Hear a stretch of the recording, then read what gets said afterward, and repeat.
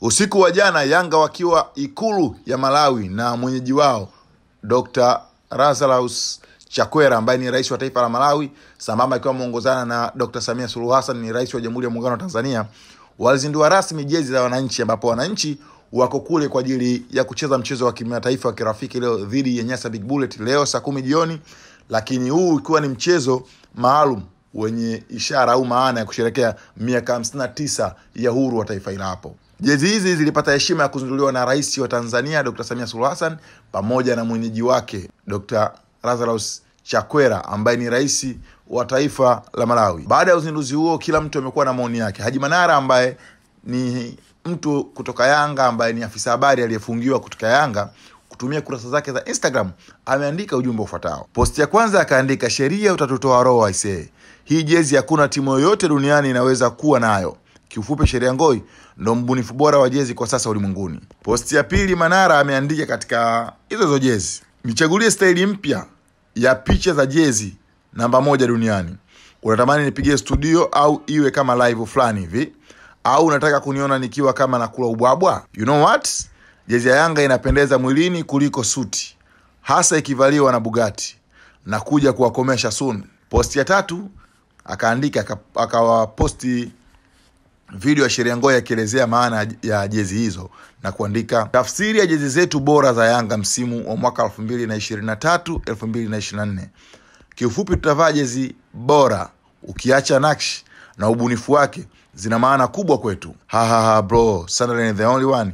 Niambie mkubwa, umepewa tenda kule, una design isi, isiwe Mwijaku ndo mbunifu wako? Akammention sheria ngoi hapa, amemmention Sunderland the only one kwa sababu Sunderland ni mtu ambaye ameshinda tenda kutengeneza jezi za watani wao wa jadi Simba Sports. So anataka kujua ni yeye ni mtengenezaji tu au mpo pia na nafasi ya kudesign.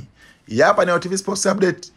Mimi naitwa Ramadhani Juma Mwirondo, producer wangu ni Edwin TZA. Jezi ya away ni jezi ya rangi ya njano, na hii jezi tumededicate katika performance kubwa ya timu yetu iliyofanya na kuwa unbeaten 49 times, na kama unavyojua na unavyoona ni kwamba jezi hii imekuwa nimekuwa inspired na mchezo ulikuwa unaitwa brick tennis.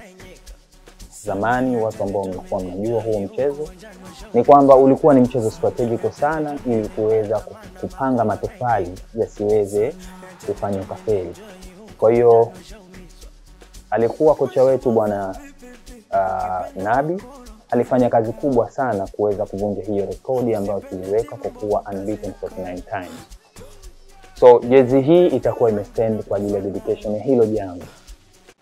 Niwalete sasa katika jezi ya nyumbani ambayo rangi yake huwa ni ya kijani. Kama mnavyojua, timu ya Yanga ilianzishwa mwaka 1935 na waanzilishi na au wanachama ambao walikuwa na kadi namba moja alikuwa ni Mwalimu Julius Nyerere pamoja na Abeid Karume. Baada ya hapo timu yetu inatimiza miaka 88 mwaka huu, na katika hiyo miaka 88 imeweza kuvunja rekodi mbalimbali, lakini sio kama rekodi ambayo imevunjwa majuzi.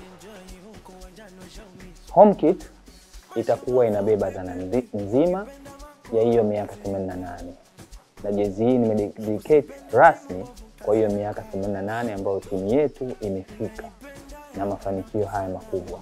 Utaona michoro iliyoko kwenye jezi inaonyesha 88 na pia inaonekana kama mfumo wa maua, yani tunawapa pongezi kwa hicho alichokifanya. Tukienda katika jezi yetu pendwa ya siku zote, jezi ya nyeusi. Jezi hii imeonyesha michoro 88 pamoja na kuna star au nyota katikati yake. Ukitizama hii 88 jinsi ilivyokaa inaonyesha kwamba ni medali nne ambao katika msimu huu timu yetu ya Yanga imeweza kushinda, na ile star inasimama kama kizazi cha nyota au kizazi cha dhahabu ambacho kimeleta mageuzi na historia kubwa katika timu yetu ya Yanga. Ukitizama kwa chini, tumeweka piping ya dhahabu na huku pembeni kuna mchoro wa YA ambao una stand kama Young African. Hii ribbon inasimama kwa niaba ya medali u, ile ribbon ambayo iko katika medali na ile Young African ndio ile iliyokuwa katika ile duru au tufe ambalo lilikuwa ni medali. Kwa hiyo kwa kifupi, jezi zetu zina historia hiyo.